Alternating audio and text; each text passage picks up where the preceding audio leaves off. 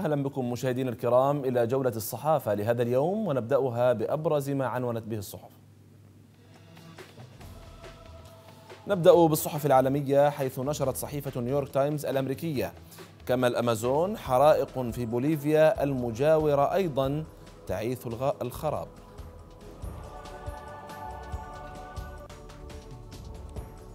وفي صحيفة الإندبندنت البريطانية ترامب يقول على إيران وقف الأنشطة النووية والصاروخية. الاتفاق الذي أبرمه أوباما معها قد انتهى. طهران تعاني من أوضاع اقتصادية صعبة كما أنها تحت ضغوط مالية هائلة بسبب العقوبات. وفي صحيفة الجاردن البريطانية احتجاجات هونغ كونغ اعتقال العشرات مع تحذير الحكومة من الوضع الخطير.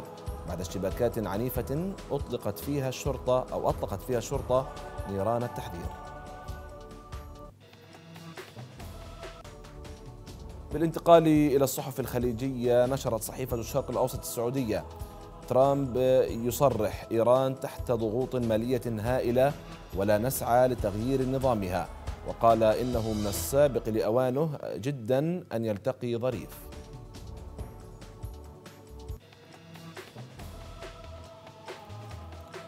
ونقرأ في صحيفة الشرق القطرية غارات إسرائيلية على بقاع البقاع اللبناني تستهدف مقر القيادة العامة للجبهة الفلسطينية.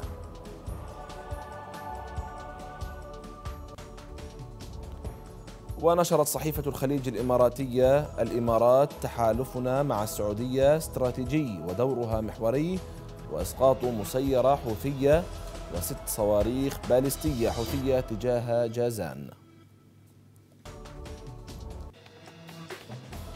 وننتقل إلى الصحف التركية حيث نشرت صحيفة يوني شفق أردوغان يصرح. هذا هو الانتصار التاريخي الذي وضع أسس أو وضع أسس الجمهورية التركية في رسالة نشرها الأحد بمناسبة أسبوع النصر الذي تحتفل به تركيا كل عام في الأسبوع الأخير من أغسطس بمناسبة انتصارات الجيوش التركية. ونقرأ أخيرا في صحيفة ديلي صباح. أردوغان إذا ما طلت واشنطن في اتفاق المنطقة الآمنة سننفذ خطتنا الخاصة.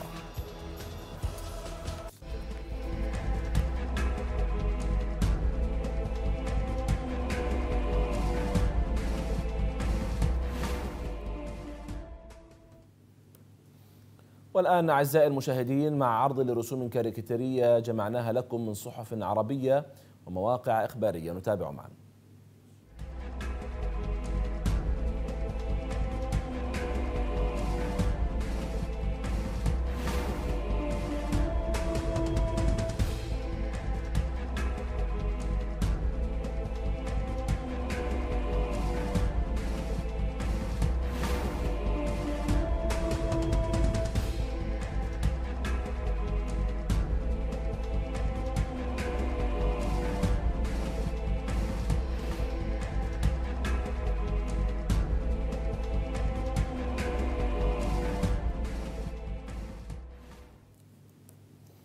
ضربات إسرائيلية في سوريا العراق ولبنان. ضربات وصفها خبراء بالخطيرة. فهل تؤدي هذه الهجمات التي استهدفت أهدافا إيرانية وأهدافا لحزب الله إلى حرب إقليمية أم ستكون كما سبقها من الهجمات؟ نسمع تغريدات وخطابات نارية. ثم تنطفئ النيران ويطبق المثل الأسدي نحافظ أو نحتفظ بالرد في الوقت المناسب والمكان المناسب. دعونا نتابع مقالا نشرته صحيفة الديلي تليغراف وترجمته شبكة بي بي سي ثم نستكمل النقاش. صحيفة ديلي تلغراف نشرت مقالا يتناول الغارات الجوية التي نفذتها إسرائيل على مواقع إيرانية قرب العاصمة السورية دمشق. تقول الصحيفة إن ما حدث ينذر بأن احتمال اندلاع حرب بين إسرائيل وحزب الله أصبح قريبا جدا خصوصا بعد تحذير الأمين العام لحزب الله حسن نصر الله ليلة الأحد من انطلاق مرحلة جديدة من الحرب مع إسرائيل. وتعهده بأن الزمن الذي كانت إسرائيل تنفذ فيه هجمات على أي مكان في لبنان متى ما شاءت وتظن بأنها ستبقى آمنة قد انتهى. وكان المتحدث باسم الجيش الإسرائيلي قد أفاد بأن الغارة استهدفت منشأة لطائرات دون طيار يديرها فيلق القدس الإيراني ويعتقد أنها كانت تستعد لشن غارة بطائرات دون طيار على إسرائيل. من جهته قال المتحدث باسم حزب الله محمد عفيف في وقت لاحق إن طائرتين دون طيار خرجتا من السماء في الساعات الأولى من صباح الأحد. سقطت الأولى دون أن تحدث أضرارا وأضاف أن الثانية انفجرت على المركز الإعلامي للحزب قرب مطار بيروت مما تسبب في أضرار جسيمة مؤكدا أن الحزب يقوم بفحص الطائرة التي لم تنفجر. وأثار الحادث بحسب المقال حفيظة رئيس وزراء لبنان سعد الحريري الذي وصف الحادث بأنه انتهاك واضح للسيادة اللبنانية وقرار الأمم المتحدة الذي أنهى الحرب الأخيرة بين إسرائيل وحزب الله عام 2006 ويشير المقال إلى أن إسرائيل تخشى أن يصبح حزب الله المعارض أكثر قوة خصوصا بعد مشاركته في الحرب إلى جانب بشار الأسد. مما سمح لمقاتليه مما سمح لمقاتليه باكتساب خبرة في ساحة المعركة وجمع ترسانة هائلة من الصواريخ إضافة إلى إيجاد موطئ قدم للحزب شرق الجولان مباشرة. ويختم المقال بالقول إن الضغوط التي كانت تمارسها الحكومة اللبنانية على نصر الله حالت إلى حد ما دون إرسال مقاتليه إلى سوريا. وحفظت لبنان من الانجرار إلى مربع الصراع السوري. لكن نصر الله يقول إن الأمر تغير الآن خصوصا بعد الهجوم الإسرائيلي. إذا أعزائي المشاهدين تابعنا هذه التفاصيل التي نشرتها شبكة بي بي سي البريطانية وللحديث حول هذا الموضوع ينضم إلي عبر الهاتف المختص والباحث في الشأن الإسرائيلي السيد سعيد بشارات. سيد سعيد أهلا بك معنا. أهلا بكم مساء الخير. مساء النور. سيد سعيد تطورات وصفت بالخطيرة تجري في لبنان وسوريا. برأيك هل تؤدي هذه التطورات إلى مواجهة عسكرية بين حزب الله ومن الممكن أذرع إيرانية مع دولة الاحتلال الإسرائيلي. بسم الله الرحمن الرحيم. طبعا كما نعلم ونتابع الأمور يعني خطيرة وحساسة جدا. يعني بالظاهر يعني نتكلم بالظاهر هناك يعني تحركات إسرائيلية بدأت من قبل أيام عندما قامت طائرات الاحتلال بقصف موقع قالت إسرائيل عنه أنه كان يحتوي على نشطاء لحزب الله أو إيرانيين ينوون تنفيذ هجوم على دولة الاحتلال وقامت بقصفهم. بعد ذلك تطور الأمر بالطائرات التي سقطت في في بيروت. وما تبع ذلك من الإعلان لأول مرة يعني بشكل مباشر والإجراءات التي قام بها نتنياهو من عقد جلسات ويعني يعني عمل فوضى كبيرة جدا في تلك الليلة، هناك من ذهب إلى اعتبار أن الموضوع هو عبارة عن ثرثرة سياسية وعمل سياسي يريد من خلاله نتنياهو أن يجني بعض الأصوات بهذا التحرك الذي يعتبره إنجاز خاصه في جبهة كالجبهه السورية التي يعتبر أن هناك عدم رد في كل مرة، لكن هذه الأمور تطورت هذه المرة ربما بشكل أعمق، لذلك هو أدرك هذا الموضوع و حاول أن يخطو خطوات إلى الأمام بدل التراجع. اليوم عقد مثلا جلسة للكابينيت في منطقة ولكن سيد سعيد ألا ترى أن هناك جرأة كبيرة من الاحتلال الإسرائيلي يقوم بضرب أهداف في العراق وسوريا والأمس بلبنان؟ يعني هل انتهى الرادع الذي كان يوجه للاحتلال الإسرائيلي من قبل المنظمات أو التنظيمات العسكرية سواء في لبنان أو في سوريا؟ بالعكس العكس هو صحيح نتنياهو يعلم أن الأمور قد تغيرت إقليميا قد تغيرت حلبة الصراع في الجبهات جميعها لذلك المردوع هو نتنياهو لذلك لأنه مردوع وخائف جدا خاصة بعد التطور العسكري الذي مر به حزب الله وحماس في قطاع غزة وفصائل المقاومة. لذلك هو مردوع. وما يقوم به هو عبارة عن شد الحبل أكثر لأنه يؤمن أنه يمكن شده أكثر. ولكن كيف تفسر قيامه بعد خطاب حسن نصر الله الأمين العام لحزب الله بالأمس؟ قيامه بمهاجمة أهداف جديدة على الحدود اللبنانية مع لبنان وسوريا. لأنه لا مفر أمامه إلا أن يهاجم لكي يشعر الخصم حزب الله وإيران أنه آه، غير خائف مع أنه خائف جدا جدا جدا.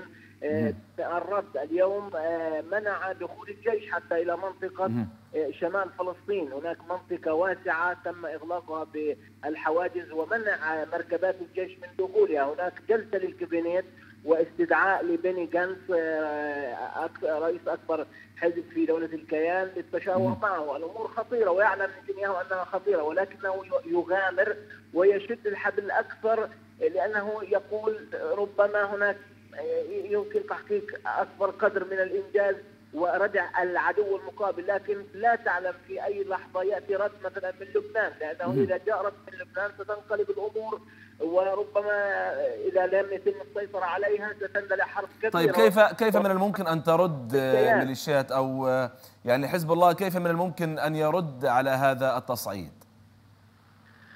يعني حزب الله حسب يعني خبرتنا به وتجربتنا أو علمنا بسياسته لا يرد بسرعة يعني كأحداث سابقة. مثلا عندما تعرض بعض كوادره للتصفية على يد دولة الاحتلال قام بالرد لكن بعد فترة بعد حسابات يصفها محللون أنها لا تريد أن تؤلم الاحتلال لكن ولا تريد أن تعرض لبنان لتدمير إذا ما حدث شيء كبير. لكن هناك رد يعتقدون بأن صمت حزب الله هو يعني ضربة له وتعتبر نقيصة إذا ما رد. في ظل نعم. أن مثلا قطاع غزة يرد على أي اعتداء للاحتلال. يعني لبنان يختلف كثيرا. ما حدث لحزب الله واستهداف عناصره إيه، يمكن أن يدفعه إلى الرد. وحتى الاحتلال عندما ألقى كلمة أمس إيه، قالوا أنهم يدرسون كلماته كلمة كلمة لأنه ربما هذه المرة جاد بالرد الرد الذي سيكون نعم. حسب اعتقادهم محدود وموضعي كما يتعامل جيش الاحتلال أو ما يسمي وصلت الحرب التي وصلت الفكرة في سوريا ولبنان بأنها حرب موضعية وجراحية موضعية. شكرا جزيلا لك الباحث في الشأن الإسرائيلي السيد سعيد بشارات شكرا لك على مشاركتك معنا اذا أعزائي المشاهدين ينضم إلي عبر الهاتف الصحفي اللبناني السيد عبد الرحمن صلاح الدين. سيد عبد الرحمن أهلا وسهلا بك معنا. أهلا بكم. سيد عبد الرحمن كيف تفسر ما جرى بالأمس من استهداف لمواقع لحزب الله ومواقع أيضا لإيران في سوريا؟ وبعد ذلك جاء تصريحات نارية من الأمين العام لحزب الله وبعدها تلا ذلك هجمات كذلك على الحدود اللبنانية السورية.